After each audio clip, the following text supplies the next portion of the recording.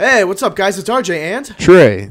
from AchievementHunter.com, bringing you Mortal Kombat X Crypt Items Collectibles. So, in the crypt, there's certain items you can get that allow you to access other parts of the crypt to get cool stuff.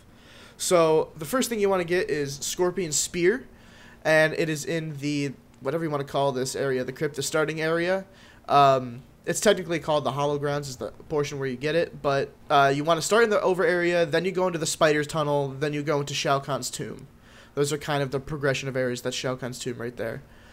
But uh, I'll up, I'll have each coordinates up for a little bit on the screen uh, when I get to the item, so you guys can uh, memorize where it goes.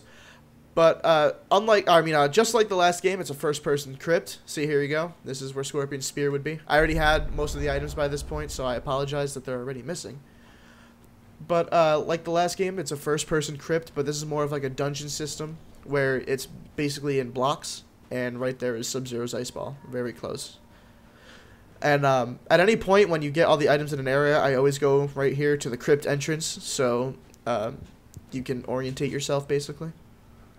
Now you have this game, yes? Yes, I do have this game, and I love the combat. All I'm saying is I fucking hate mazes. Yeah, yeah. That's why I made this because it can get pretty confusing. Uh, but next, you want to go to the spider tunnels. Um, but I do have to say the scream or the not screamers, but like quick time events, I guess, in this game are sometimes catch you off guard and can be pretty uh, pretty freaky. Oh yeah, the spooky dog ghost things.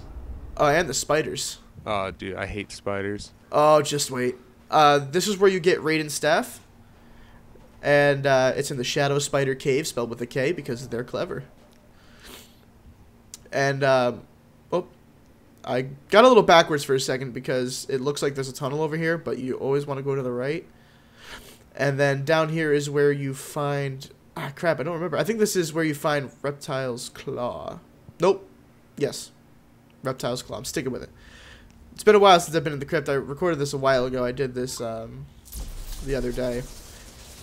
So now you decided to avoid the crypt because of the quick time events, yes? Yeah, I hate spooky jump scares, and like I said, mazes are not my favorite thing. I always get really confused with them, so I've been mainly sticking to the story, which I find awesome right now. The story is really good. Um, but I am also going to be working on a um, area where you uh, a crypt uh, navigation for Shao Kahn's tomb and all sorts of stuff like this.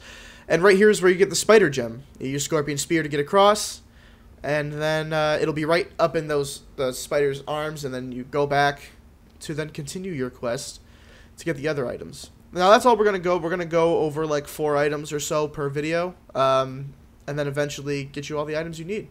Uh, it's really not that hard once you know where all of them are. Uh, just follow the paths that I lay out here, and uh, everything will be good. Uh, with the way I do it, I would suggest is just get all the items because then you can just move around the crypt however you want, and you don't have to worry about um, like reaching an impasse. Pretty much everything works.